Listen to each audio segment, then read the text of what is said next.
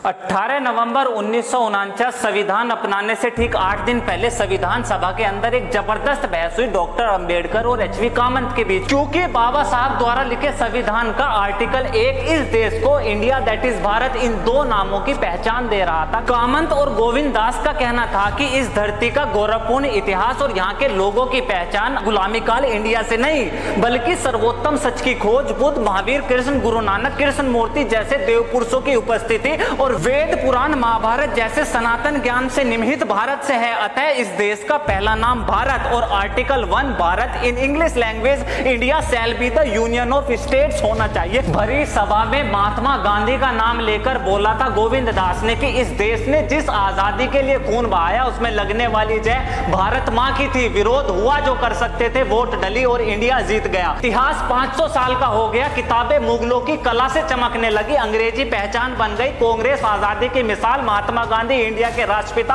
और इस इंडिया में अपने अस्तित्व, इतिहास की बात करने वाला सनातनी हिंदू ऐसे ही तो सांप्रदायिक इंटोलरेंट कम्युनल बन गया। इतिहास है हमारा 500 का नहीं, बल्कि 5000 साल पुराना दुनिया की सबसे प्राचीन सभ्यता और धरती पर सबसे पहला धर्म, जिसे आप हिंदुइज्म और हम सनातन धर्म कहते हैं। निर्गुण, निराकार, निरंजन उस अनादि परमात्मा परमात्मा के अंश, स्वर्ग नरक प्राण मृत्यु, अपने जीवन को ही मुक्ति, मोक्ष का सार बनाकर उस अनंत शक्ति में विलीन होने को अपना धर्म मानने वाला वो है सनातनी हिंदू। वेद सत्य है जो आधार है। पुराण उपनिषद महाभारत का ओम ध्वनि है। वाइब्रेशन है इस ब्रह्मांड की प्रकृति, पूजने और सूर्य अग्नि का प्रतीक। भगवा पहचान है हमारी। खाना नहीं है किसी के पेट का। गाय, माँ, जननी है। कल्पना नहीं है किसी की श्री राम। इतिहास है हमारा। शिव की नगरी वाराणसी, कृष्ण की मथुरा, राम की अयोध्या। शहर होंगे किसी के लिए।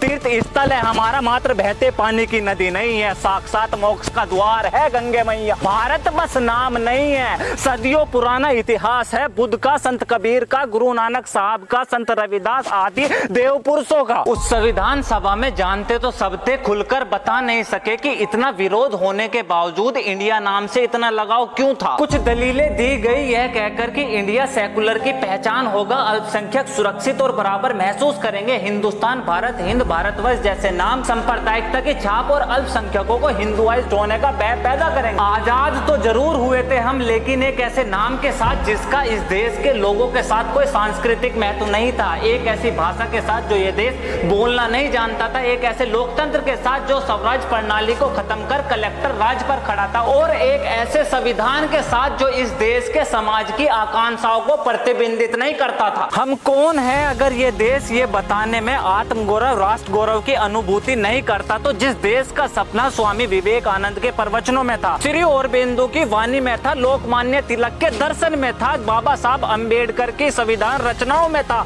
और जिस देश का चित्र महात्मा गांधी ने प्रस्तुत करा था, वो देश आज़ादी के बाद भारत से इंडिया बन गया। इतिहास 500 साल का हो गया, किताबें मुगलों की कला से चमकने लगी। अंग्रेज़ी हमारी पहचान बन गई। मार्क्सवाद विचारधारा की मिसाल सौधर संभव से सेकुलर इंडिया और उस सेकुलर इंडिया में इस देश के अस्तित्व और उसके इतिहास की बात करने वाला एक बहुसंख्यक अल्पसंख्यक हिंदू इंटॉलरेंट कम्युनल एक ऐसे ही सो सांप्रदायिक हो गया। लेगा यह देश फिर से अपनी संस्कृति अपनी प्रतिष्ठा इतिहास अपना मौलिक रूप लेगा। हर कन कन तन मन इस हृदय में आत्म गौरव बढ़ने वाला इस देश का नाम भारत लेगा। क्योंकि अब ये द टॉक शो बोलेगा। This is Alok Kumar from talks you next video Jai Hind.